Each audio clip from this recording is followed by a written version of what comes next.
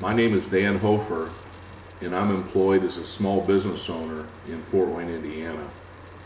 Um, I purchased my own health insurance.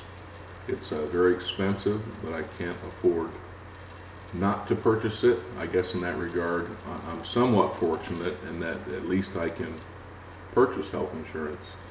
My health insurance right now, between the deductible and the premiums, costs me about $20,000 a year. It is the single largest expense that I have in my life, uh, and, and I can't afford not to have it. Once again, I'm fortunate. A lot of people are prevented from starting a business because of the high cost of health care. Um, the Obama Health Care Reform Act affected me dramatically in a personal way last summer.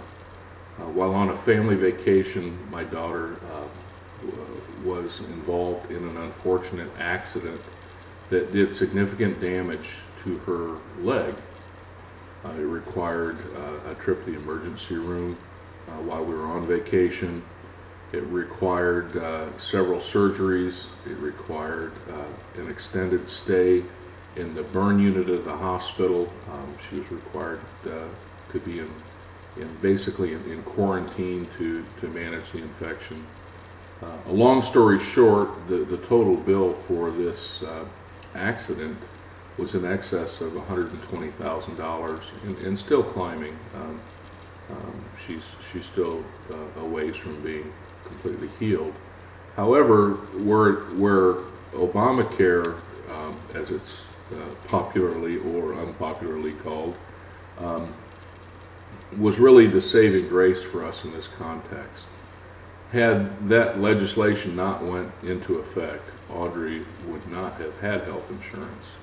Um, since she's under 26 years old and uh, she's done with college, I was able to continue her health coverage on my plan.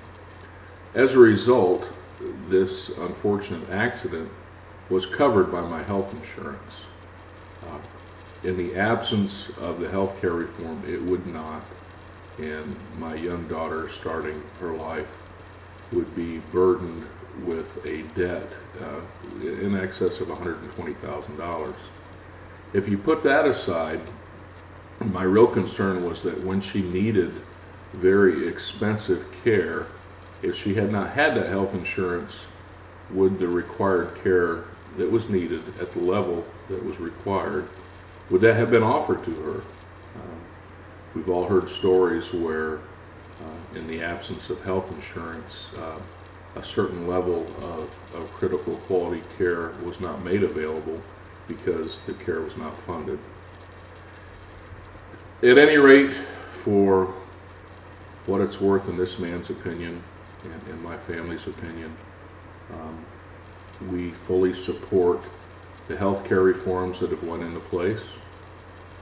Um, we fully support the call for uh, resolving our national health care crisis, which is lack of affordable insurance to all.